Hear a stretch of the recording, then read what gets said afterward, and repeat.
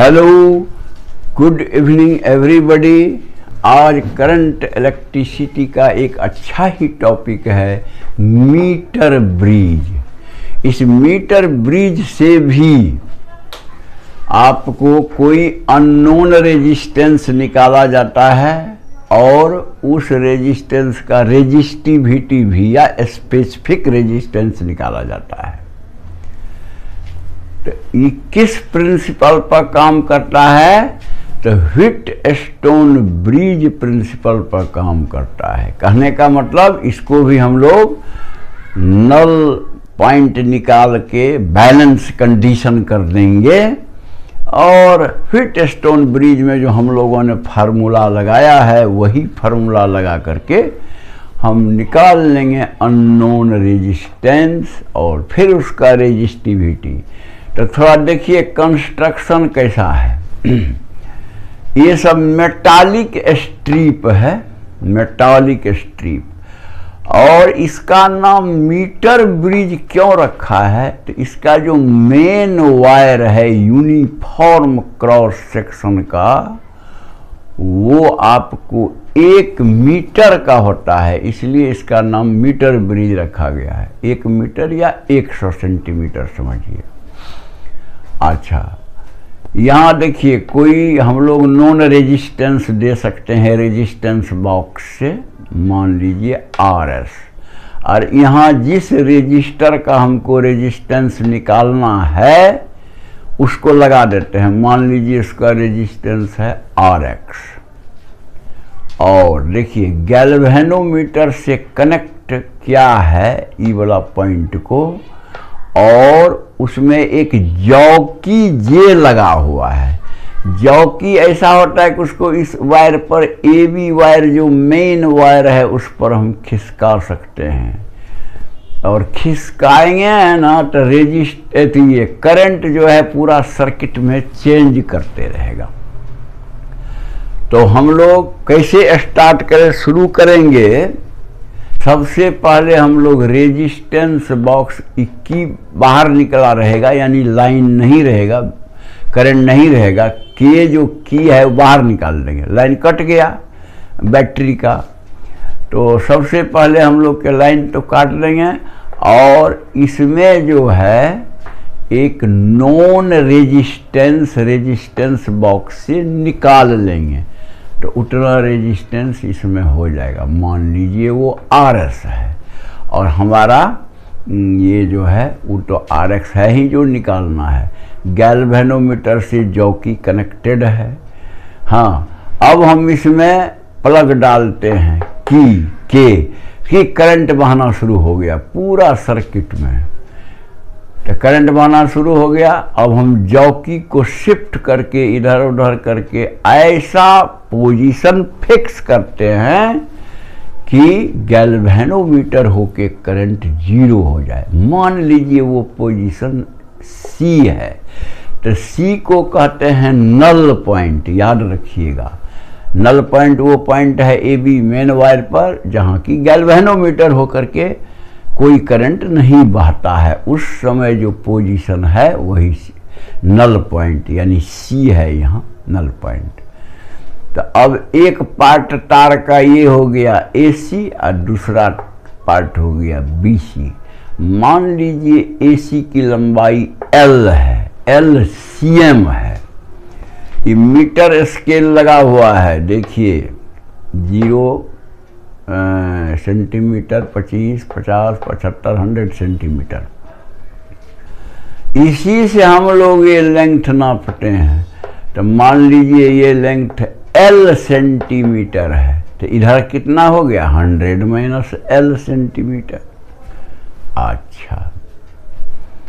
तो ये आप नोट कर लीजिए स्केल से नाप के। अब मान लीजिए कि एक्स ओम पर मीटर अगर रेजिस्टेंस हो ए बी वायर का मेन वायर जो ए बी है, उसका रेजिस्टेंस अगर एक्स ओम पर सेंटीमीटर हो, चूँकि एल हम सेंटीमीटर में नापते हैं तो एल लेंथ का कितना हो जाएगा? एल लेंथ का हो जाएगा एक्स इंटू एल ओम, उसको आर वन मान लीजिए यानी यहाँ से यहाँ तक रेजिस्टेंस आर वन मानिए।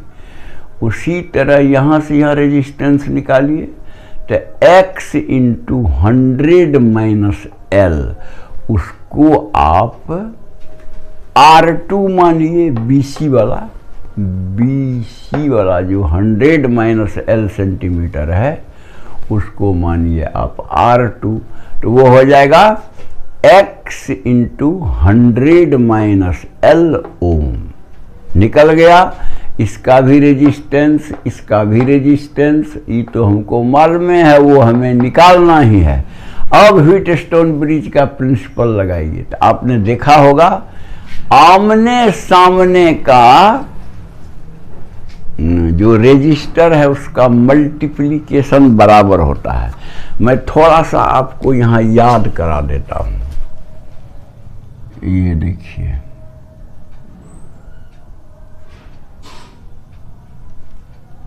ये गैल्वेनोमीटर है कनेक्टेड है।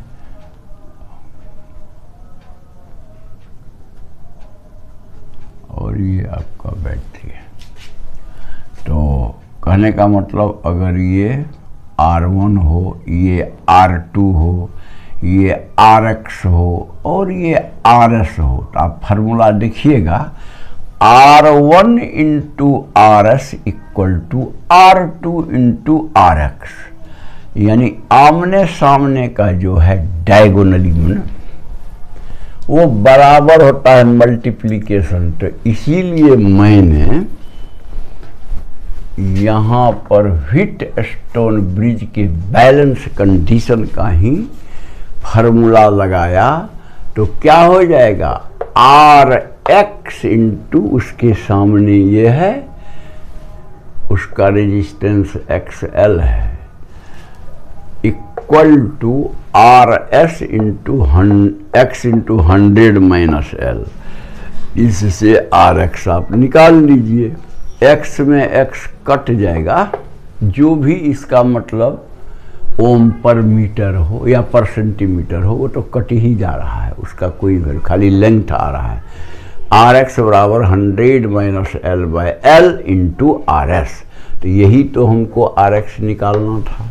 तो उसका रेजिस्टेंस निकल गया और उस वायर का या रजिस्टर का हमको रेजिस्टिविटी या स्पेसिफिक रेजिस्टेंस भी निकाल सकते हैं। मान लिया जाए कि उसका लेंथ है एल वन एल वन और क्रॉस सेक्शनल एरिया है ए आ वो जिस मटेरियल से बना है, उसका रेजिस्टिविटी है रो तो हम आर का फॉर्मूला तो जानते हैं आर बराबर रो एल बाय ए होता है। ओम स्लो सब में पढ़े थे जो। इससे रो हो गया, इससे हाँ तो इसका वैल्यू डाल दीजिए। आर मतलब रेजिस्टेंस यानी आर एक्स रो तो हो गया रेजिस्टिविटी एल यहाँ, एल वन डाल दीजिए और ए मान लीजिए। ए डाल दीजिए, क्रॉस सेक्शनल एरिया, और इससे रो निकालिए। रेजिस्टिविटी तो रो हो गया।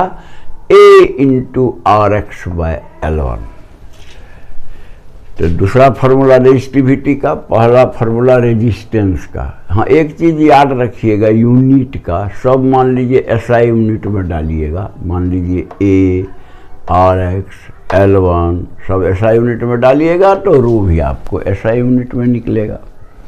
तो मैं समझता हूँ कोई ज़्यादा झंझट वाला नहीं है, आप समझ गए होंगे। अगर आप समझ गए हैं और अच्छा लगा तो आप लाइक कर दीजिएगा और जो सब्सक्राइब नहीं किए हैं सब्सक्राइब करके बेल बजा दीजिएगा ताकि वीडियो जाता रहेगा। और एक और रिक्वेस्ट है कि आप लोग अपना ग्रुप में उसको, जो ग्रुप आपका है, चाहे फेसबुक वगैरह का है, या व्हाट्सएप का है, या कोई और ग्रुप है तो उसमें भी आप डाल दीजिए। जिनको भी पढ़ना होगा, पढ़ के अपना फ़ायदा उठाएगा कॉन्सेप्ट क्लियर होगा, और एग्ज़ाम में अच्छा करेगा। That's all thank you